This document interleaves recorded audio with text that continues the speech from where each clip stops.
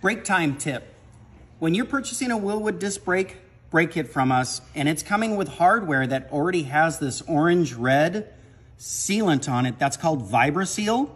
That's the same as Loctite. So when you're installing your brake and you're putting your hat, to hat and rotor together like we are, make sure that you already know that you've got that sealant and just torquing is all that will be necessary.